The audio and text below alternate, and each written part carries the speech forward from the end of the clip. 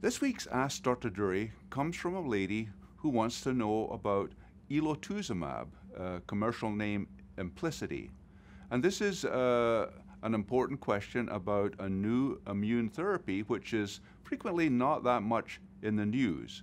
Uh, however, this is a timely question because just this week, on November the 6th, uh, 2018, the FDA did in fact approve a new indication for the immune therapy uh, elotuzumab.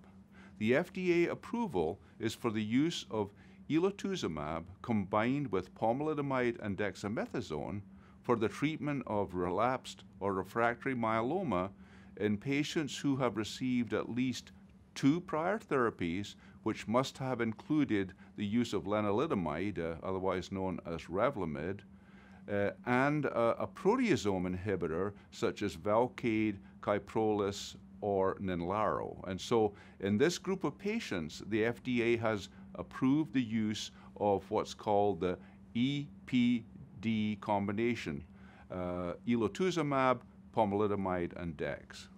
The good news is that this combination produced results better than the pomalidomide and dex alone, with uh, an improvement in the remission by over four months.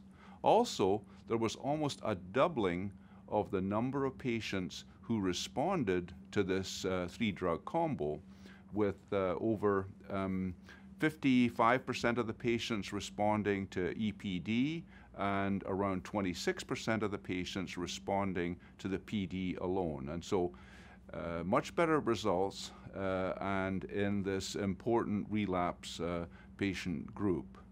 In addition, uh, this combination was very well tolerated, including the infusions. In this case, uh, the uh, elotuzumab is given by IV infusion, but these infusions are generally very well tolerated, and the overall uh, side effects and toxicities of this regimen uh, were uh, rather uh, limited, well tolerated as a combination. And so, bottom line, elotuzumab is a very important immune therapy and has just been approved by the FDA as part of this EB the EPD combination. So good news for patients, an important new combination therapy that's available uh, for use.